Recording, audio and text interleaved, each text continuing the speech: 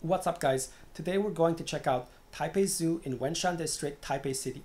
Taipei Zoo is one of my favorite zoos because the caged up animals are well taken care of and they don't actually eat anybody unlike some other zoos in other Asian countries.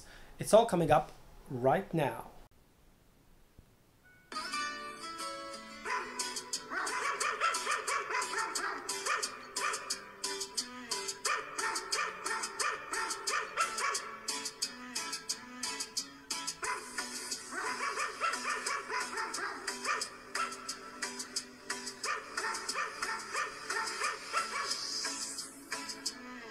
We are now at uh, Taipei Zoo. We are trying out the uh, new local variety of the new Primate Poop Coffee. coffee. It is uh, similar to the uh, cat poop coffee, except it comes from Primate. So let's try. Mm. It's as expected. So on this side of the wall, it's a great depository of poop. It's McDonald's on the other side, and a lot of poop on this side. Uh, I think they're pretty much close together. Uh, the taste is also pretty close. Um, yeah, uh, can't really tell the difference. So this is the uh, famous Taiwan V bear in a very, uh, very suggestive position. It's like uh, this is the pretty much the only action that people who go to the zoo get, which is looking at this bear, possibly getting some action very interesting. As you can see, has the V V uh, tie on its on its neck. Uh, perhaps it's playing dead. Uh, who knows? But it's um, looks like they didn't have too much endowment down there. But uh, yeah, it's okay. It should be for the kids. You know, friendly for the kids. So.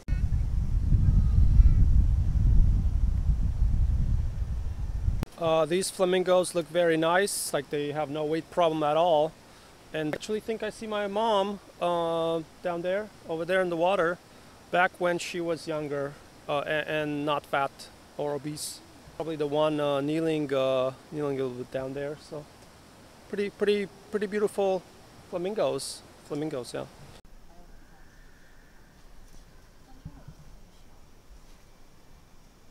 Still holding on to the primate poop coffee. Uh, it's not so terrible after the first few sips. Um, and as you can see, here's a mural which says save the rainforest. Yeah, so we're gonna save the rainforest by taking animals from the wild and putting them in cages. Yeah.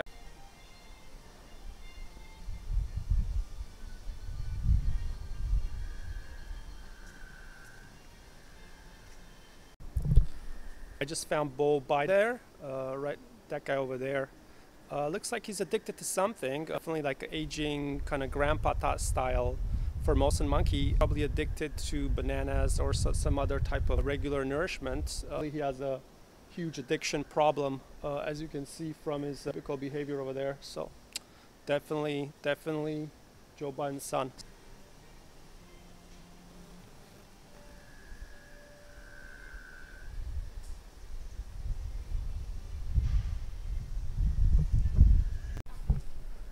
These monkeys remind me about another story about monkeys. Uh, this story from India. Apparently, this monkey got really drunk and uh, went on a rampage and it was jailed for 20 years in India. So yeah, I mean, at least those monkeys got their day in the sun, got really crunk, got their chance to uh, go on a huge drunken rampage. But these monkeys got no chance. You know, as you can see, they're pretty hard to hop the fence over here. So yeah.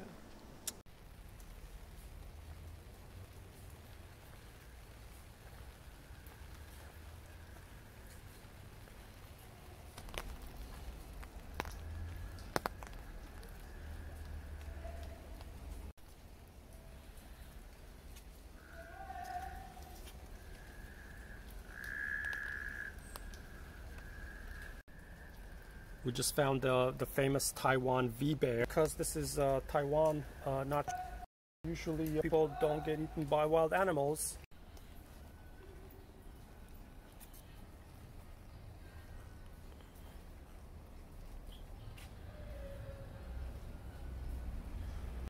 Bears, bears, bears. If it's black, fight back. If it's brown, lay down. If it's white, good night. If it's Taiwanese, uh, you don't know what to do, really.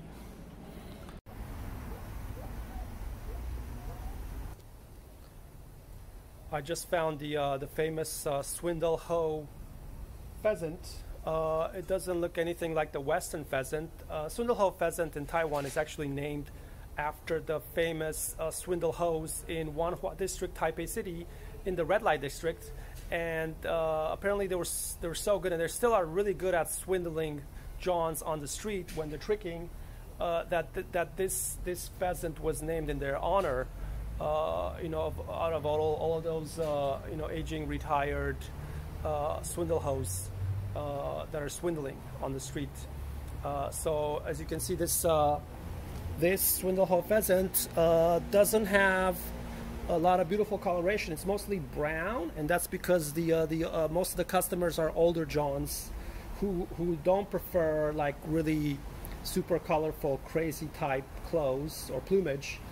Um, so that's why uh, it's actually not not very bright at all. So uh, and looks like it's it's not working right now. I think it's usually the swindle hoes just work maybe two or three days uh, per week, and the other time they, they mostly eat or, or uh, you know take diet pills or things like that. So uh, no swindle hoe today, but the males are still out. You know they're still looking for Uh, they're still looking for the girls. Yeah.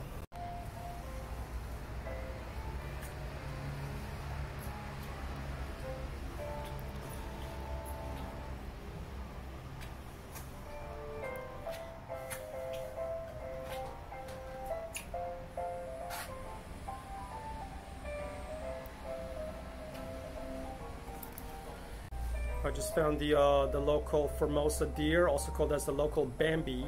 Uh, the local Bambi is very famous because it shows up about two hours late on, on a date, uh, and also it uh, it wants you to carry uh, all the bags have uh, one car, one house, you know, like no money, no honey. so it's quite a material Bambi. As you can see, it's it's it likes its comforts. Definitely likes its comforts. Yeah.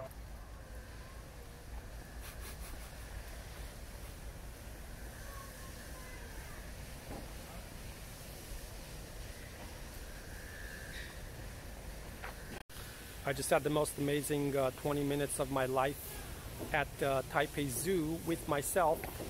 Uh, and what did we learn uh, from going to this uh, zoo slash kindergarten combination? Uh, number one, animals suck. Two, zoo suck. You suck. Everybody sucks. update, I just found the second most action that people who go to the zoo today will see in their daytime today uh, which is a dog biting uh, Santa's ass. Uh, the uh, first most uh, action people are going to see today would have been and was the spread eagle missionary position V-Bear, which is actually right over there. so this is definitely a cheap attempt to attract a lot of kids uh, and parents with families.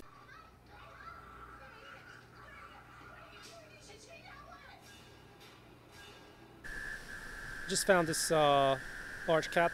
Uh, there's a lot of symbolism here, actually.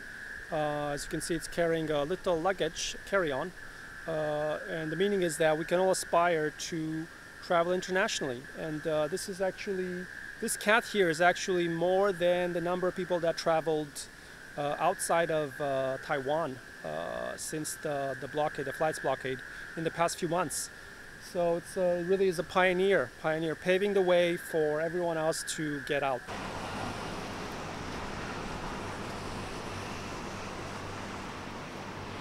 Symbolism here, uh, animals on top of a pink strawberry cake. Uh, this just means that you can eat most of the wild animals and they probably taste pretty delicious on top of a pink cake. So this is uh, teaching the younger generation to treat animals with respect and uh, possibly delicious flavor. Uh, you know, in the form of strawberry or perhaps like cotton candy flavor.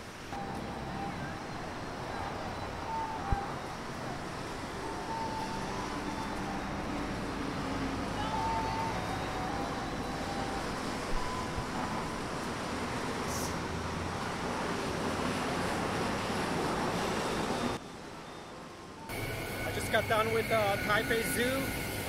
Pretty disappointing. No monkeys would take my bananas today, but you know, better luck next time. You know, those those monkeys, they got they gotta down their bananas one way or another. Gotta be presentable, look good for the public, put on a nice banana belly.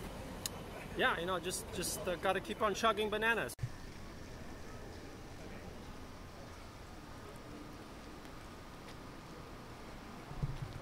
Don't forget to subscribe and demolish that like button, like totally annihilate. Like you gotta annihilate it like an elephant in heat in Africa or a macaque trying to trade a piece of fruit for some attention from a female or, or an elderly sexpat who just finished quarantine in Bangkok but just just completely annihilated like just drop the whole bomb on that like button and, and I'll see you soon.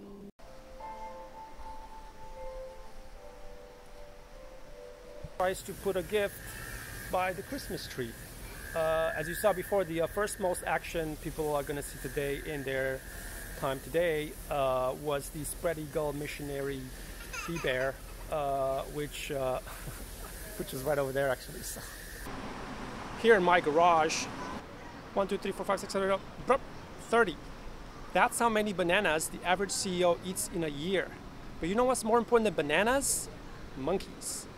And you know what's more important than monkeys? Knowledge. Knowledge. That's why I read so many books every 10 years.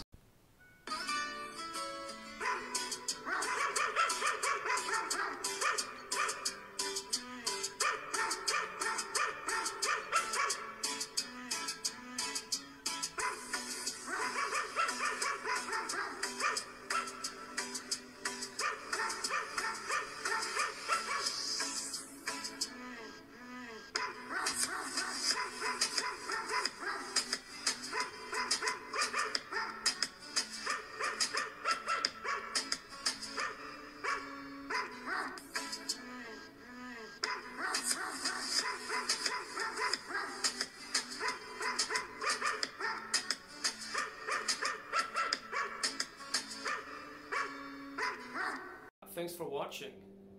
I want to know what you think. Have you ever been forced to go to the zoo? What kind of cage up animals do you enjoy watching in your free time? Let me know and comment below.